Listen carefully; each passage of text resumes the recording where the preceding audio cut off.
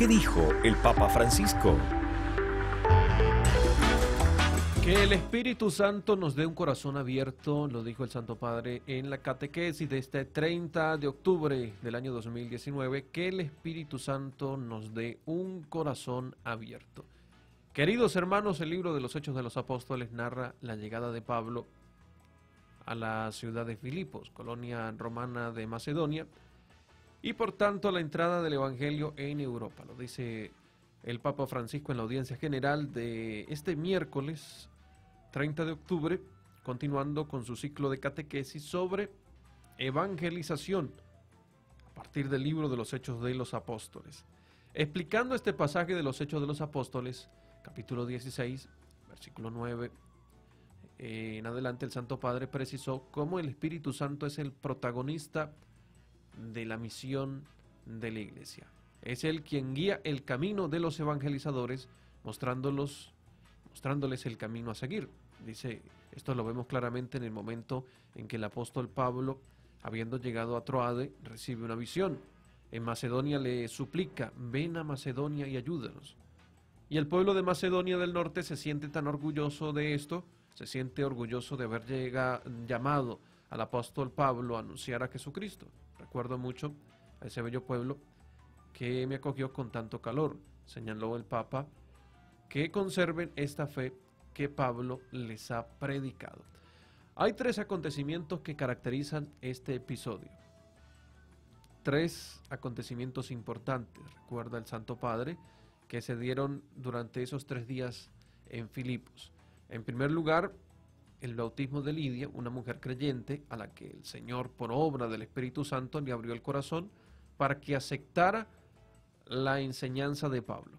Una vez que el corazón de Lidia se abrió, eh, pudo acoger a Cristo mediante el bautismo, junto a toda su familia, y abrió su casa a los demás apóstoles. Tenemos aquí, afirmó el pontífice, el testimonio de la llegada del cristianismo a Europa, el inicio de un proceso de inculturación que dura hasta hoy. El cristianismo, subrayó el Papa, ha entrado por eh, Macedonia. El Espíritu Santo abre nuestros corazones y pedimos a Dios que también abra nuestro corazón con la luz, la gracia de su Santo Espíritu de manera especial si ya hemos sido bautizados, recibido el sacramento del bautismo, que vivamos esa gracia de apertura de corazón para amar, para servir. En segundo lugar, Pablo y Silas eh, fueron denunciados por los dueños de una esclava que tenía un espíritu mm, de adivinación y les procuraba muchos beneficios, y a los que los apóstoles eh, eh, liberaron con un exorcismo. En la cárcel, en vez de lamentarse, Pablo y Silas alababan a Dios y él los salvó mediante un terremoto que sacudió la prisión y rompió las cadenas que los ataban. Hablando espontáneamente, el Santo Padre explicó que la mujer que habían liberado en nombre de Jesús, una esclava que tenía un espíritu de predicción con el cual sus dueños ganaban dinero, leía las manos y predecía supuestamente el futuro.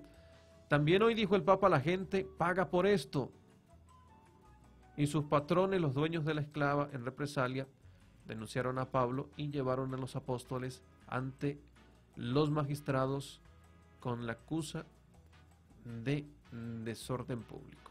Sin embargo, durante su encarcelamiento se produce un hecho sorprendente. Es en la desolación que en vez de quejarse, Pablo y Silas cantan alabanza a Dios. En medio de la adversidad cantan alabanzas a Dios. Y esta alabanza libera una fuerza que los libera. Durante la oración un terremoto sacude los cimientos de la prisión, se abren las puertas y se cayeron las cadenas de todos. Como la oración de Pentecostés, la oración hecha en la cárcel también produce efectos prodigiosos. Y por último, la conversión y bautismo del carcelero y de toda su familia. En medio de la noche, él creyó en el Señor Jesús junto a toda su familia recibió a los apóstoles en su casa, les lavó las heridas y recibió el bautismo. Después, lleno de alegría por haber creído en Dios, preparó la mesa y celebraron una fiesta. En medio de la noche, para el carcelero y su familia, brilló la luz de Cristo. Se rompieron las cadenas del corazón y experimentaron una alegría indescriptible. Dice el Papa, es así como el Espíritu Santo está haciendo la misión desde el inicio, desde Pentecostés en adelante. Es Él el protagonista de la misión y nos lleva adelante. Es necesario ser fieles en la vocación que el Espíritu nos mueve a realizar para llegar al Evangelio. Que el Espíritu Santo abra nuestros corazones.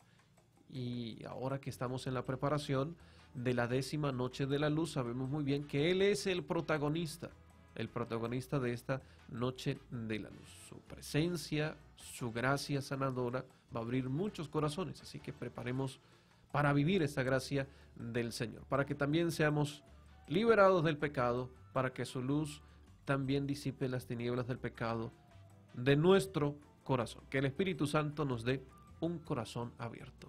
Esta es la exhortación del Santo Padre este día en su catequesis. 11 de la mañana, dos minutos en Radio Natividad.